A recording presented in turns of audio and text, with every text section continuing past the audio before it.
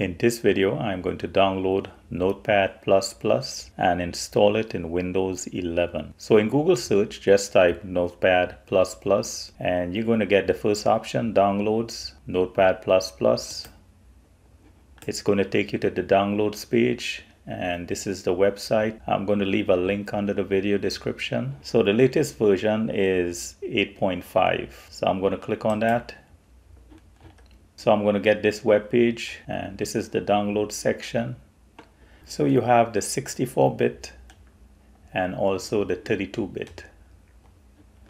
So I'm using Windows 11. I'm going to download the 64-bit.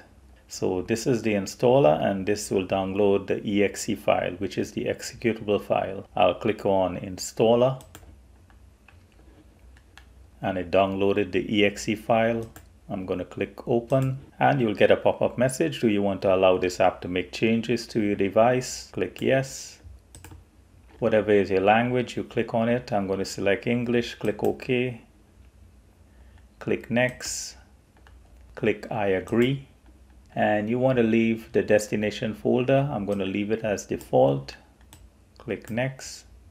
I'm going to leave everything else here as default. Click next so you want to create a shortcut on the desktop. So I'm going to check this box, click install, and I'm going to run Notepad++. I'll click finish.